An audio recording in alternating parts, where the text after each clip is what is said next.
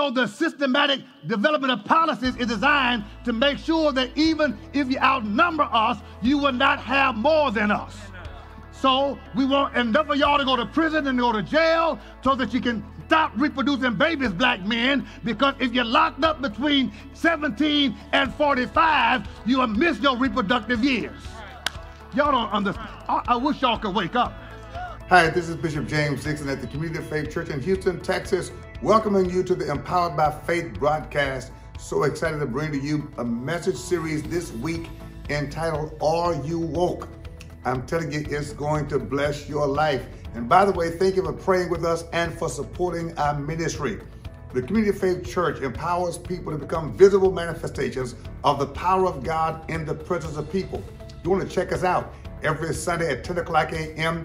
Our live uh, worship is on Facebook. You can watch us this coming Sunday and tell your friends about it because it will certainly change your life. Our church is a church like none other. We make an impact every day in the lives of people in our community. In fact, right after this message, I'll be back with the word, Are You Woke? Watch this. I'll be back in a moment.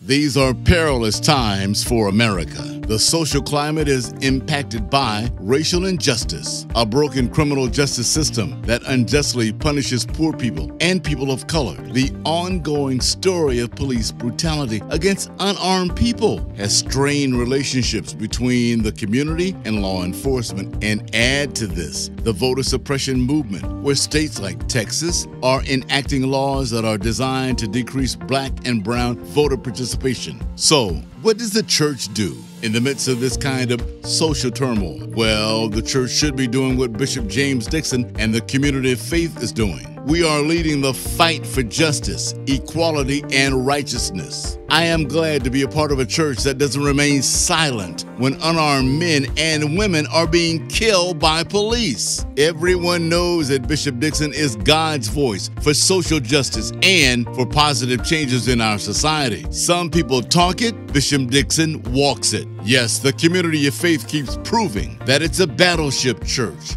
not a cruise ship. In addition to being an anointed preacher and pastor, Bishop Dixon is a real leader who serves to empower his community. So you see him in Austin at the Capitol, challenging lawmakers to pass laws to combat child sex trafficking. Bishop Dixon is there to fight against voter suppression. You see him standing with other leaders, speaking truth to power in behalf of the less fortunate. I am happy to partner with Bishop Dixon because I know he's not in it for himself. He's dedicated to the hard work of fighting for the people. That's why, my friends, you should partner with James Dixon Ministries. Praying and supporting James Dixon Ministries makes a much needed difference. So go to jamesdixonministries.org to become a partner today. We thank God for your support. And if you're looking for a church, a real church, a battleship church, look no further you found it.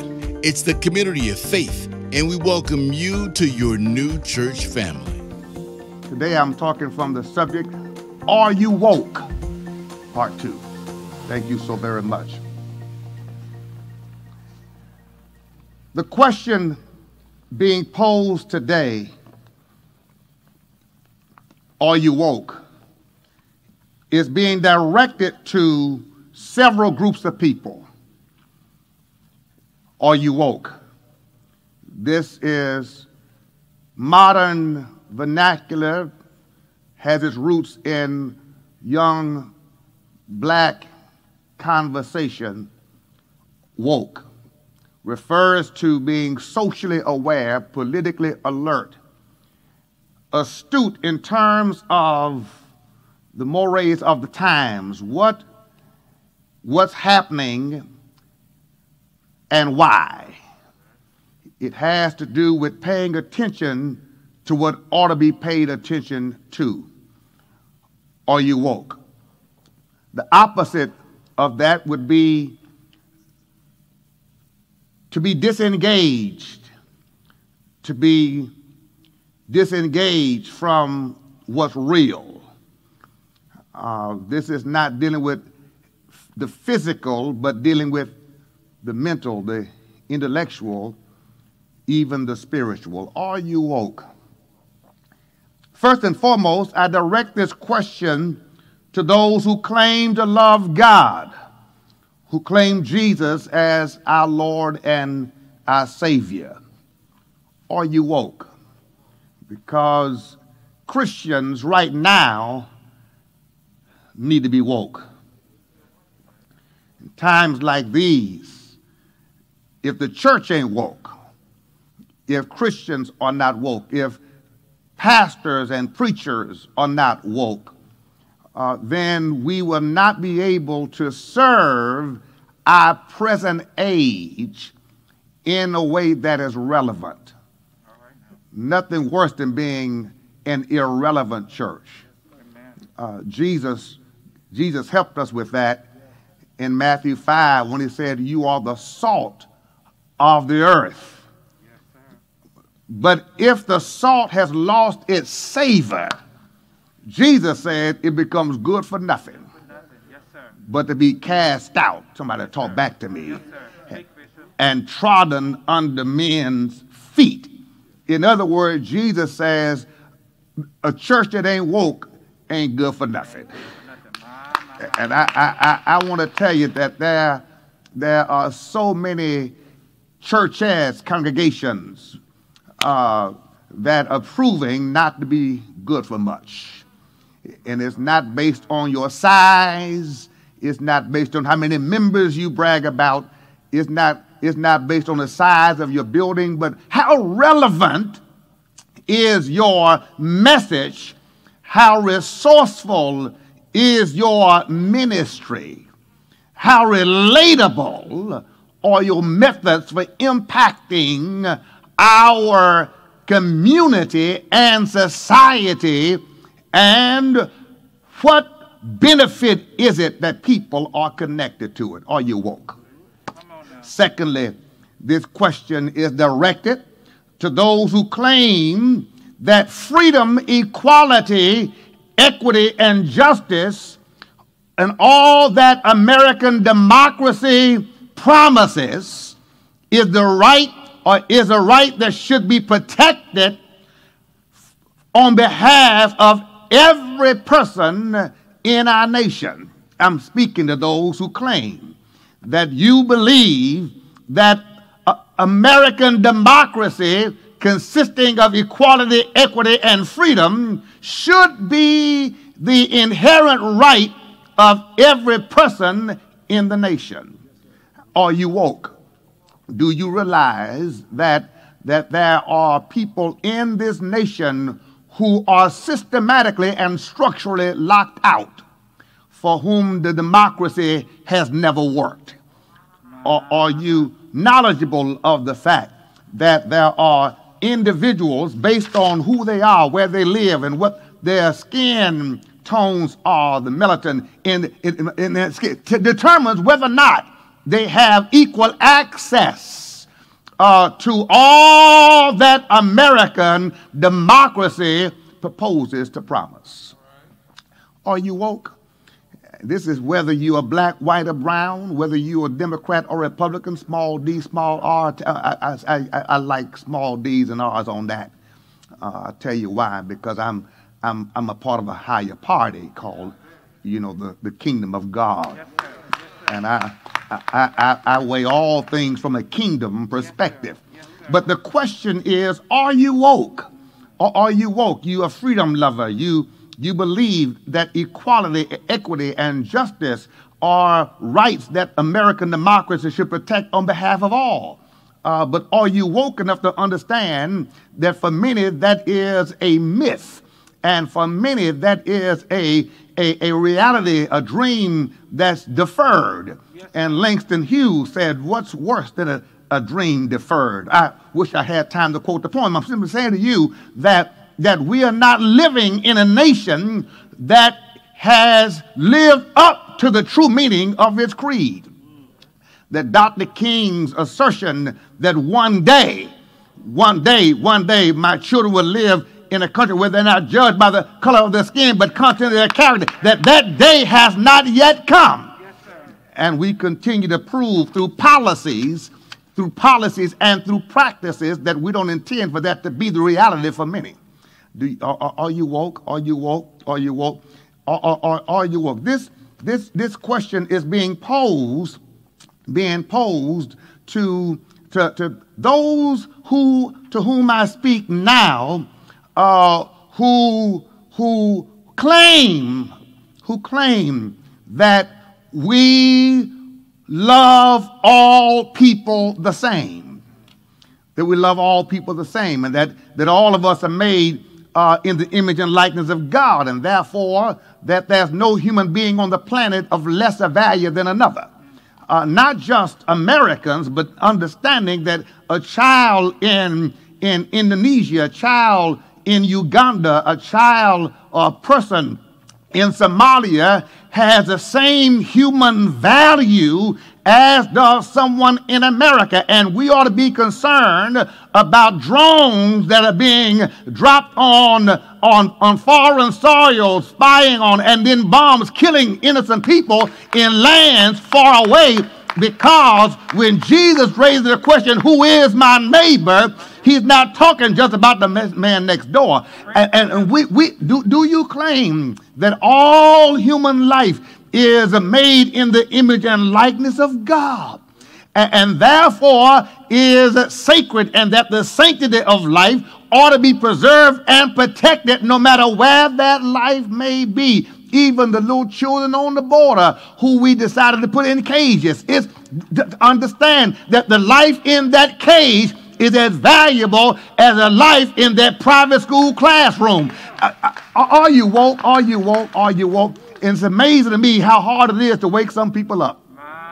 You know, some people get up and just at the sound of an alarm clock. Others get up because a sun ray comes through the window. Yes, Others you gotta shake and push and shove, and they got they gotta hit the snooze button, and you gotta push them, you gotta wake them up, you gotta make noise, and some of y'all it's just hard to wake you up. In his poem, Burnt Norton, poet T.S. Eliot, T.S. Eliot wrote these lines he said, We moderns are distracted by distractions from distractions. Uh, we, we are distracted by distractions from distractions. And although Eliot wrote this poem in 1936, they describe our present reality. The purpose of my preaching and speaking is to rescue our attention from the planned and sinister, sinister distractions. Please understand that there are false and superficial narratives that are propaganda uh, and they're designed by a corrupt corporate uh, system of manipulation that's purpose to keep this generation preoccupied with distractions that don't matter. Ooh, I wish I had uh, uh, an audience I, I, could, I could, I could, I could talk back to. It could talk back to me. I'm saying to you. I hope you've been blessed by this message entitled "Are You Woke?" and it's to wake you up even more when we come back in just a moment. But I want to encourage you to be sure and follow me on social media. All of my handles are right there on the screen. Facebook, Instagram, YouTube. Subscribe to my channel because every day there's something out there that's going to inspire you, encourage you, and bless your life. And remember to join us this coming Sunday at 10 o'clock a.m. for our live morning worship service on Facebook Live. Just go, go to the community of faith. The music, the ministry of the Word of God, you'll be inspired, you'll be ignited, and empowered. And thank you for sharing and for praying because it takes people like you to partner with a ministry like this to make us even stronger. We thank God for you. Now let's go back to the Word. Ooh, I wish I had uh, uh, an audience I, I could, I could, I could, I could talk back to. It could talk back to me. I'm saying to you that you have to understand that many of us are not woke because we are drunk on distractions. Uh, we, we, we are drunk on distractions that have been uh, deviously devised by systems of corporate manipulation that's designed to have us engrossed with a preoccupation that's not based on reality in order for us not to be in tune to what's happening to us around us and that's what's going to happen imminently for those who are coming behind us.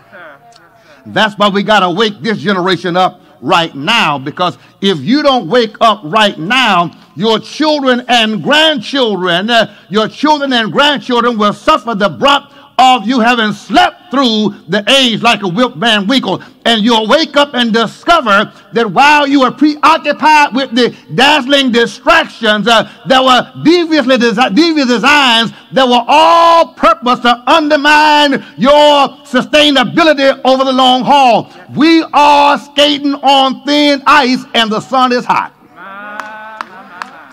Our nation is skating on thin ice and, and the sun and the sun is, is hot. We are drunk on distractions. We are preoccupied with distractions. One, the distractions of frivolity, frivolous distractions like entertainment, music with no meaning. Uh, yeah, it moves your body but won't move your heart. Uh, it, it stirs and stimulates and tantalizes uh, your physical, but it does nothing for your soul and your spiritual. And I'm not just talking about gospel music. You got to understand that when you look back on our history to understand people like Sam Cooke and people like Natalie Cole and people like Stevie Wonder, they, they wrote music, but it says something to your spirit, not just to your body. It was about a, a, a, a sound of substance that will cause you to want to love somebody rather than hate somebody. But we are now being moved and distracted by entertainment that is meaningless and lacks substance. It touches nothing with the spirit. It only causes your body to vibrate and to gyrate and cause you to depict yourself in a way that's less than who you are. You got to understand the distractions of frivolity. A frivolous uh, distraction is fashion. We are so overwhelmed with fashion. With fashion, fashion, fashion. How am I going to dress? What am I going to look? What's the latest? I got to have it. How much does it cost? Where can I get it? We are, we are consumed with fashion. Fashion is a design distraction. It causes us, got, we got to have the newest tennis shoes that just dropped and we got to walk around with some drip because if I ain't blinging, then something is lacking in who I am. We are so consumed with fashion. Don't you know that the wealthiest people ain't bothered about fashion? Do, do you understand that fashion is a distraction for broke people looking for status? y'all, y'all don't want to talk back to me. I, I, I said, we are overly consumed with the distraction of fashion, how to dress, what my shoes look like, what my hair looks like. Fashion, fashion, fashion. Yes, sir. Uh, and it's by devious design that the most popular fashion for younger generations uh, are fashions and apparel that exposes the body in ways that provokes hedonistic instincts and urges. I, I said hedonistic instincts and urges are provoked purposely by the fashions you wear because if you dress like a hooker, you'll act like one. Uh, uh, because uh, whatever you advertise determines what you catch. And uh, whatever you put on the market says what you are selling. And the way you sell yourself is by what you wear. Y'all don't want to talk back to me. And, and so even the jeans got to be cut up so much that it shows your upper thigh, not just your ankle, because uh, what you're selling is determined who's going to buy and how much they'll pay. And so you're commoditizing yourself by the fashion that provokes hedonistic instincts and urges. Uh, so they have now what they call nude skirts new, new skirts, new, new skirts. That's the skirt that makes it look like you ain't got no underwear. Uh, uh, the nudeness under the lace that matches your skin tone in order to cause somebody to wonder what it's like underneath. Uh, it's it's, it's, it's playing to the hedonistic urges and impulses that rest and reside within even the best of us. Because even a noble person has something hedonistic hidden on the inside. Uh, yeah, yeah. Fashion that makes you look like, dress like, act like a freak. Because uh, freakishness now is uh, promoted to be uh, the best way to promote yourself. And if you got to look like a freak in order to be somebody, you have freaked yourself out. God, that's not the best of you. Dis- distractions, distractions. I'm just talking about distractions. Uh, distractions of, of superficial success. It's that success on the surface. We are driven by successful appearance that has nothing behind it. It's like the Hollywood movie set where you see the front that looks like a saloon, but there's nothing behind that, that front. It's, it's a Hollywood set. And since most of us are not going to stay anywhere long, we can pretend for just a moment. Uh, and, and, and, so it's superficial success. You drive up looking successful, uh, but ain't no house at the, uh, you have no home. You, you, you dress looking successful, but your purse costs more than the money in your bank account. Uh, you, you, you, you sport success in what you put on the front, but there's nothing behind it. You can't even read a bank statement, know nothing about accounting, have no business plan, and no plan for perpetuity. And if you die, we got to have a GoFundMe account to bury you. But you look successful while you were alive. Uh, we are distracted with frivolity, but we're also distracted with fun. Fun, fun, fun, fun. Uh, pleasure is now most of your gods. Uh, uh, and you will sacrifice for fun. When when fun is out of, oh, now fun is good. Don't misunderstand me. I'm not saying all fun is bad. I'm not saying life ought to be a bore. And I'm not saying to be saved and Christian and smart, you've got to be approved. I, what I am saying to you is that if fun is a bigger part of your agenda, then your priorities are jacked up. And while you are distracted chasing parties, somebody else is planning for your demise. While you are smoking and doping and tripping and singing and partying and beaching and by the poolside sipping, sipping your vodka and your crown, somebody is planning for your grandchild to never get out of poverty. Uh, we're distracted by, by fun, by, by fun, by fun, frivolous things, frivolous things. Fun is a distraction. And then distractions of fame and fortune. Everybody now is a brand. Eh, you got to be a brand. Uh, uh, uh, but a brand for what? Uh, and the, the, distraction that I got to be famous and social media and Facebook have made celebrities out of people who are working at Jack in the Box. Bishop D. Because you are so headstrong that you're not somebody unless everybody knows you. Yeah. Can I help you to understand? Nobody has to know you for, for you to be somebody. You were somebody when you came into this world because of being made in the image and likeness of God, the imago Dei. Your somethingness uh, is not about somebody else's assumption or perceptivity. You are who you are because God made you who you are. You don't have to have likes and friends and people following you falsely and fakely on social media to give you prominence and status. You are a child of God. Yes, yes, the distraction of fame and fortune. And so uh, propaganda com- continues to promote people of celebrity fame and fortune and putting them in your view every day, minute after minute, making you think unless you look like them, act like them, and can roll and ball like them, then you are lesser than them. And, and so and so you you you determine your value based on how many likes you got on social media. Can I tell you, I don't need a like to know I like myself.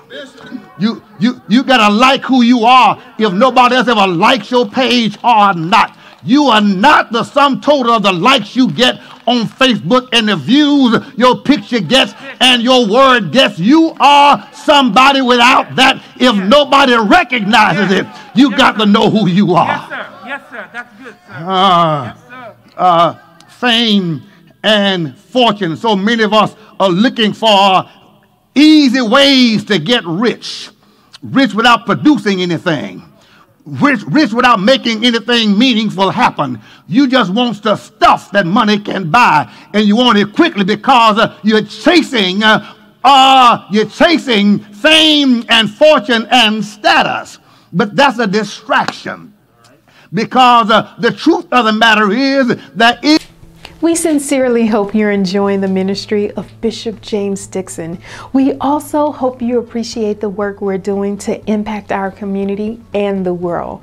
To keep up with Dr. Dixon and all we do, follow Bishop Dixon on all social media. Subscribe to his YouTube at Bishop James Dixon. Follow Bishop D on Facebook and Instagram. Stay connected and you'll be amazed at what we're doing to impact the world for Jesus. Stay connected and stay empowered by faith.